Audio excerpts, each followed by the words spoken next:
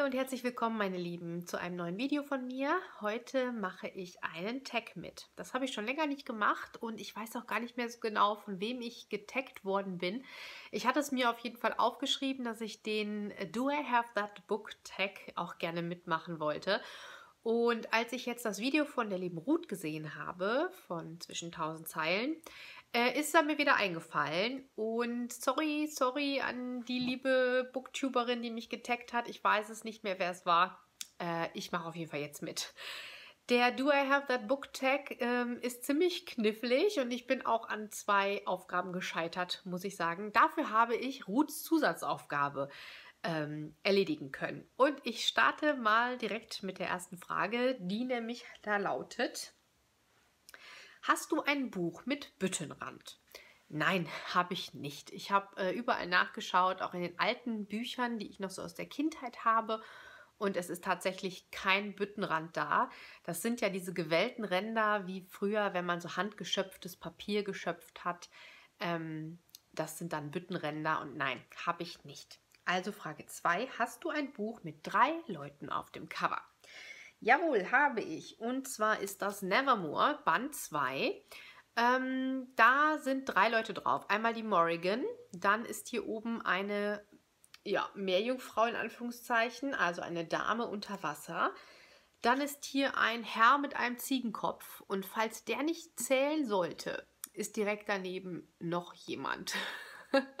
das habe ich jetzt einfach mal als 1, 2, 3 gezählt und somit ist die Aufgabe erledigt. Nevermore Band 2. Das Geheimnis des Wunderschmieds hat drei Leute auf dem Cover. Frage 3. Hast du ein Buch, das auf einer anderen fiktionalen Geschichte basiert? Habe ich auch. Und zwar ist die basierende Geschichte eins meiner Lieblingsbücher, das Lavendelzimmer von Nina George. Und sie hat ähm, ein Buch in diesem Buch erwähnt, nämlich die Südlichter, aus dem immer mal wieder zitiert wird. Und jetzt hat sie tatsächlich letzten Monat die Südlichter auch rausgebracht. Also, die sehen sich nicht nur ähnlich, die haben auch eine gemeinsame Verbindung. Die Südlichter sind äh, basierend auf dieser fiktionalen Geschichte. Hast du ein Buch mit einem Titel, der zehn Buchstaben lang ist? Und da habe ich auch lange suchen müssen, wirklich lange gesucht. Ich habe es aber gefunden und zwar der Mr. Mercedes. 1, 2, 3, 4, 5, 6, 7, 8, 9, 10. Tada! Das hat aber lange gebraucht. Also ich habe wirklich das ganze Bücherregal von oben bis unten durchgesucht und ähm, ich glaube, es ist auch tatsächlich mein einziges Buch mit zehn Buchstaben als Titel. Und äh, ja, grandioses Buch, grandioser Auftakt zu der tollen Mr. Mercedes Trilogie. Das habe ich sehr, sehr gerne gelesen. Dann Frage 5. Hast du ein Buch mit einem Titel, der mit dem gleichen Buchstaben beginnt, mit dem er auch endet? Und da habe ich sogar einige, habe ich festgestellt. Das war ähm, relativ leicht für mich. Da habe ich einmal die Todesfrist von Andreas Gruber. Der Auftakt ähm, zu der Reihe um Sabine Nemetz und Martin Snyder. Ähm, genau, Todesfrist T und T. Dann habe ich noch Eat, Pray, Love zum Beispiel gefunden. Fängt mit E an, hört mit E auf von Elizabeth Gilbert. Und ich hatte tatsächlich sogar noch eins. Mal gucken, ob ich es jetzt so schnell finde. Iskari habe ich noch. Das äh, könnte ich noch zeigen. I und I. Ähm, da war auf jeden Fall noch viel, viel mehr. Die äh, Aufgabe war auf jeden Fall total leicht. Da hatte ich doch so einiges im Schrank. Hast du ein Buch von einem Autor, der ein Pseudonym verwendet? Ja, und ich habe tatsächlich ähm, beides sozusagen. Ich habe einmal ähm, meine Harry Potter Bücher, die von Joanne K. Rowling, wie allseits bekannt geschrieben worden sind. Und das Pseudonym von ihr ist Robert Galbraith. Ähm, der Ruf des Kuckucks habe ich hier. Das ist der Auftakt zu einer ähm, Krimi-Thriller-Reihe von ihr. Und äh, ja, sie schreibt eben unter dem Pseudonym, Pseudonym Robert Galbraith. Ich weiß gar nicht, ob das hier drin aufgeklärt wird. Ja, Robert Galbraith ist das Pseudonym von J.K. Rowling, Autorin der Harry Potter-Reihe und des Romans Ein plötzlicher Todesfall. Genau. Und das ist eine Reihe, die sich nachher weiterspinnt mit der Seidenspinner und die Ernte des Bösen. Die habe ich hier hinten auch nochmal drin abgedruckt. Und das habe ich noch nicht gelesen, das ist noch auf meinem Sub, aber ich freue mich da total drauf. Mal gucken, ähm, wie sie schreibt außerhalb des Harry Potter-Universums. Da bin ich sehr, sehr gespannt drauf. So, wir haben jetzt ja gerade noch Besuch bekommen. Sobald ich hier sitze, muss immer mal jemand dazukommen. Eine kleine müde Katze. Ja, bist du müde? Bist du kuscheln? Oh Gott, lässt die Augen ja noch fast zu. Ja. Dann bleib mal hier sitzen. Falls es ihr jetzt dann schnurren hört, dann ist das Romi. Die nächste Frage. Hast du ein Buch mit dem Charakternamen als Titel? Ja, da hätte ich jetzt zum Beispiel Elias und Laia nehmen können. Äh, ist mir eingefallen. Ich habe jetzt aber mal Eleanor und Park rausgekramt. Ähm, auch da ja die beiden Protagonisten direkt als Namen auf dem Buchcover. Und äh, das war auch, finde ich, nicht schwer ein toller, toller Jugendliebesroman. Ganz, ganz großes Kino. Hast du ein Buch, das zwei Karten hat? Ja, habe ich auch, aber ich glaube, das war auch tatsächlich das einzige. Und zwar ist das hier von Jake Christoph Nevernight, die Prüfung. Ähm, auch das habe ich noch nicht gelesen. Das habe ich ähm, letztens, ich weiß gar nicht mehr, es ist schon ein paar Monate her, auf jeden Fall als Mängelexemplar erstanden. Und ich habe gesehen, dass hier vorne eine Karte drin ist. Ganz am Anfang. Von, was steht da drauf? In der Republik Itrea. Äh, Gottesgrab, die Stadt aus Brücken und Gebein. Das ist dann hier vorne. Und hinten drin ist die Republik Itrea also eine größere Karte sozusagen. Da scheint Gottesgrab zu sein als Stadt und hier sind noch Inseln und also das scheint wirklich die ganze große Republik Itreia zu sein. Also das ist auf jeden Fall eine zweite andere Karte. Ja, auf das Buch freue ich mich auch schon tierisch. Da habe ich nur Gutes von gehört und ich äh, kann mir vorstellen, dass ich mir das jetzt irgendwann in Richtung Winter mal zur Gemüte führen werde, denn das ist schon ein ganz schön dicker Schinken. Ähm, und ich freue mich einfach auf eine neue, äh, tolle Fantasy. Und äh, da ich so viel Lob über dieses Buch gehört habe, äh, freue ich mich total darauf. Die Frage 9. Hast du ein Buch, das zu einer Serie verfilmt wurde? Habe ich auch, glaube ich. Ich bin nicht 100% sicher, aber ich glaube, You, Du wirst mich lieben von Caroline Kepnes. Ich meine, das ist eine Serien, also ist als Serie verfilmt worden. Zumindest als Film, da bin ich mir sicher. Aber ich glaube, es ist tatsächlich auch eine Serie auf Netflix oder ähm, Amazon Prime. Ich keine Ahnung, da müsste ich jetzt nachgucken, welche, äh, welcher Anbieter es tatsächlich war.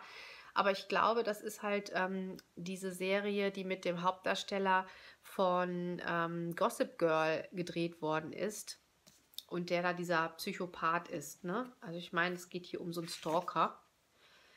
Äh, genau. Ja, auf jeden Fall bin ich mir sehr sicher, dass das eine Serie geworden ist. Die Frage 10. Hast du ein Buch, das von einer berühmten Person geschrieben wurde? Ja, und da äh, war, war, ich so ein bisschen am Stutzen, weil mh, hm, wer ist berühmt, wer ist nicht berühmt. Also manche Autoren sind ja auch schon so berühmt, äh, dass sie halt tatsächlich durch ihre Bücher natürlich berühmt geworden sind. Aber ich habe jetzt einfach mal zwei Bücher rausgesucht, die von Menschen geschrieben worden sind, die ich nicht dadurch kenne, dass sie Autorinnen sind, sondern dass ich die eben woanders kennengelernt habe. Und ähm, ach ja, zu der anderen Frage vorher ein Buch, das zu einer Serie verfilmt worden ist, da fehlt, darf natürlich nicht George R. R. Martin fehlen. Ähm, das Lied von Eis und Feuer hier, das erste Buch aus dem Penhaligon Verlag, Der Winter naht. Äh, das ist natürlich klar. Daraufhin ist ja Game of Thrones gedreht worden. Das darf ich natürlich nicht vergessen. So. Und die zwei Damen, die ich äh, zur Frage 10 äh, woanders her kenne als als Autorin, ist einmal die Anne Gesthüsen, Mädelsabend. Und zwar ist Anne Gesthüsen eine Moderatorin im WDR. Ich denke, dass ihr sie vielleicht kennen könntet. Ähm, ich habe sie auf jeden Fall als Moderatorin kennengelernt und habe danach irgendwann ähm, ja, zu ihren Büchern gegriffen, habe eins schon gelesen und das hier noch nicht. Das wird ähm, mein zweites von ihr sein. Sie schreibt ähm, ja in der Region, in der ich quasi lebe. Also es geht hier in ihren Büchern oft in den Niederrhein und wir sind ja in, ähm, eigentlich ziemlich dicht daneben. Also ich fahre nicht lange, dann bin ich am Niederrhein. Das ist ungefähr 20 Minuten Autofahrt. Daher ist mir so diese Landschaft und auch die Städte, in denen ihre Geschichten spielen, immer sehr vertraut. Und hier geht es zum Beispiel ähm, um zwei starke Frauen, eben vom Niederrhein, und die Frage, wie viel Ehe verträgt ein erfülltes Leben. Also sie spannt den Bogen vom Zweiten Weltkrieg über die piefigen 50er in die wilden 70er und sie soll ähm, ja eine sehr humorvolle und feinfühlig erzählte Geschichte sein hier. Äh, es geht um eine junge Mutter, die um eine Entscheidung ringt und von den Herausforderungen einer Jahrzehnte währenden Ehe, von der Liebe, kuriosen Hochzeitsbräuchen und Anti-AKW-Treckerfahrten, von patriarchalen Machtstrukturen und gesellschaftlichen Umbrüchen. Sie spürt der Frage nach, welche Bedeutung Freiheit und Selbstverwirklichung haben und zeigt, dass es keine einfachen Antworten gibt, nur individuelle Wege zum Glück. Ja, und wenn es dann so Städte sind, ähm, die hier wirklich ja, die ich besucht habe, die ich kenne, in die ich shoppen fahre zum Beispiel, dann ist das für mich einfach sehr Heimatkolorit und äh, Anne, Gesthüsen schreibt auch als Autorin, finde ich, total humorvoll und ich mag sie als Moderatorin und auch als Autorin. Und die zweite, die ich ähm, vom Fernsehen quasi kenne, ist die Andrea Sawatzki. Da habe ich der Blick fremder Augen von ihr. Und ich denke, ihr werdet sie auch alle kennen als Tatortkommissarin da ist sie auch nochmal drin. Sie ist ja auch äh, rothaarig ähm, und eine sehr interessante Frau. Und ich habe tatsächlich dieses Buch von ihr auch signiert bekommen. Da habe ich mich auch sehr drüber gefreut. Sie war äh, vor ein paar Jahren nämlich bei uns im Ort zu einer Lesung.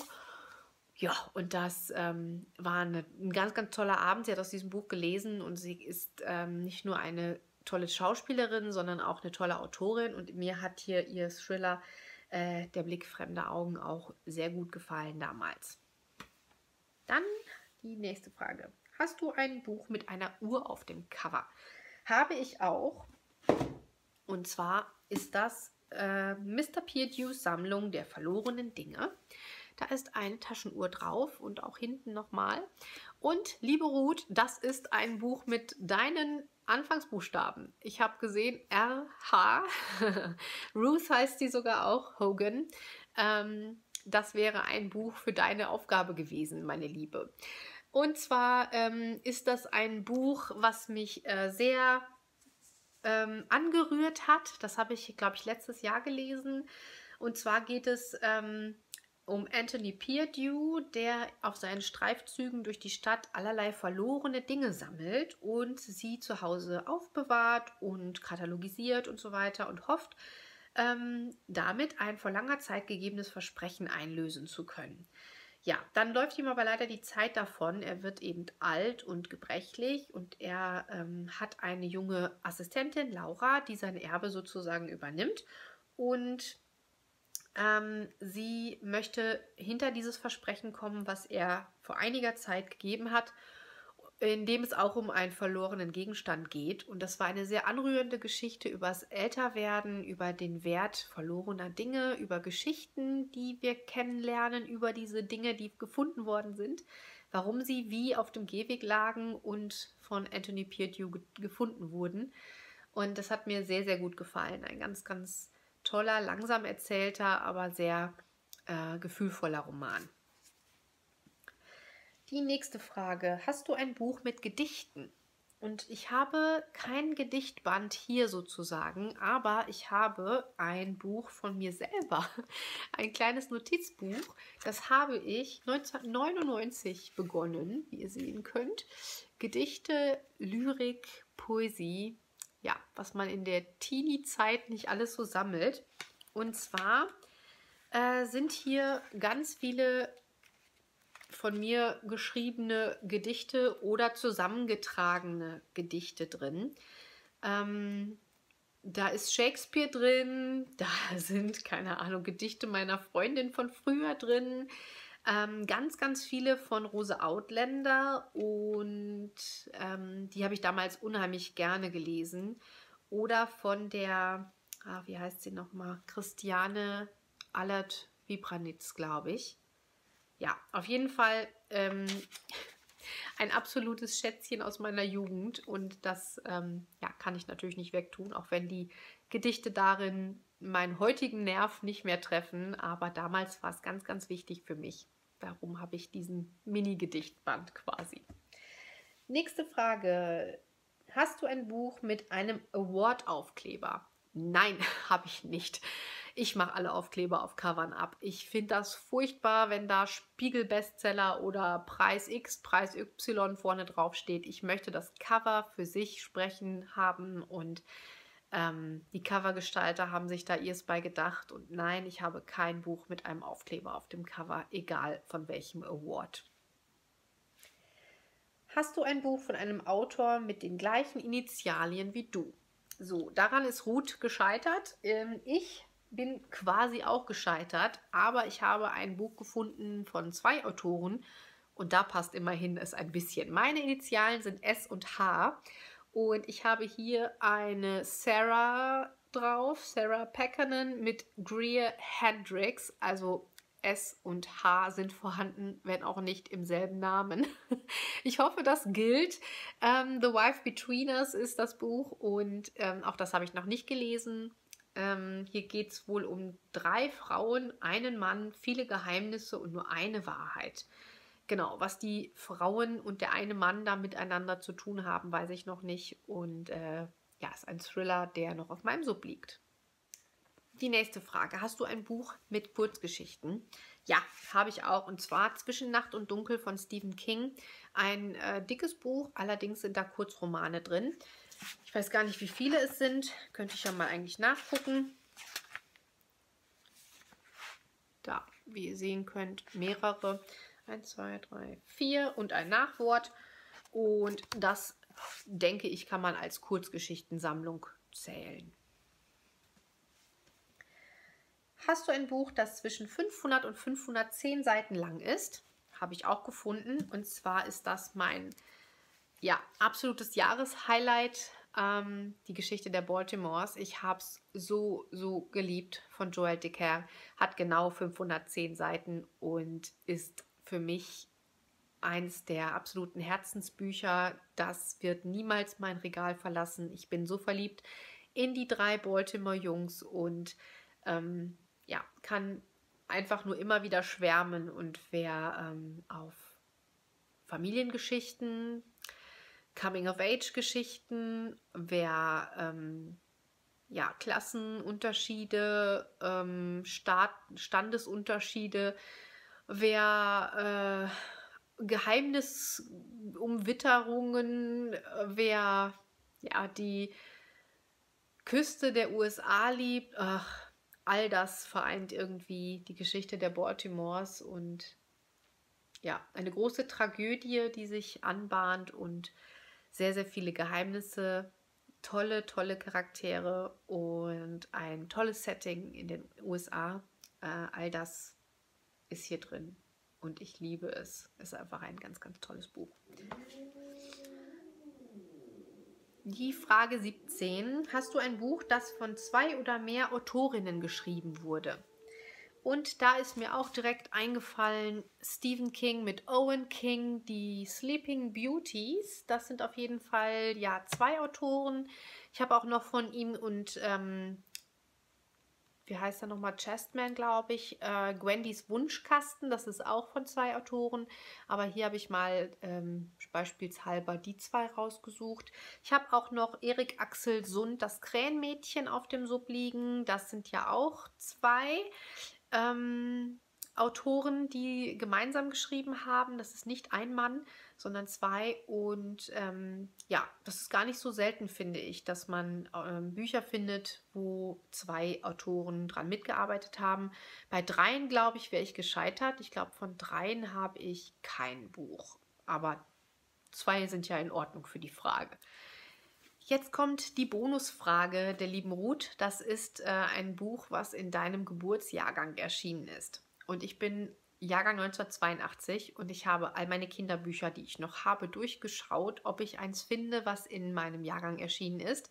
Und das ist es tatsächlich. Und zwar dieses tolle Buch. Es ist unser neues Weihnachtsbuch. Und zwar handelt das hier ähm, um den kleinen Engel Plotsch, der im Weihnachtshimmel Abenteuer erlebt. Und zwar sind es 24 und man kann dieses Buch als Adventskalender vorlesen sozusagen. Und ich liebe es, ich habe das als Kind schon äh, total ge gemocht. Äh, meine Eltern haben mir das vorgelesen und das Lustige ist, unser Buch war irgendwann verschwunden.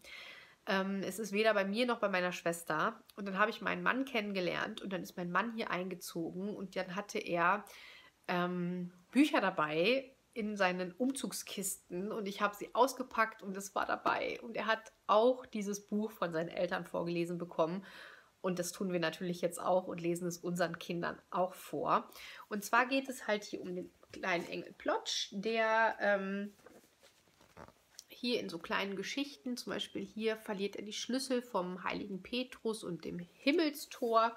Der muss halt einfach so seine ähm, Abenteuer bestehen, um quasi als dauerhafter Gast im Weihnachtshimmel jedes Jahr wieder helfen zu dürfen.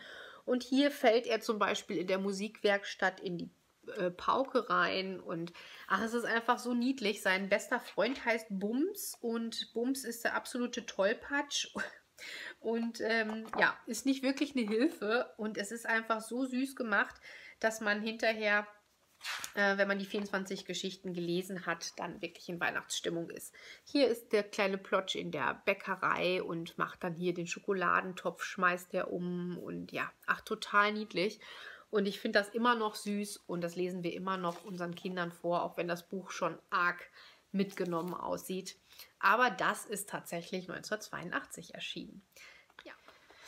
So, und zum Schluss möchte ich noch ein paar Mädels taggen. Ich weiß gar nicht so genau, wer den Tag alles schon gedreht hat und wer nicht, aber ich würde den Tag total gerne von Kali sehen. Also Kali, falls du Lust hast mitzumachen, würde ich mich total freuen. Ähm, von Claudia Beauty Butterflies. Ich glaube, dass das bestimmt auch spannend ist, mal in dein äh, Bücherregal zu schauen, ob du diese Fragen beantworten kannst.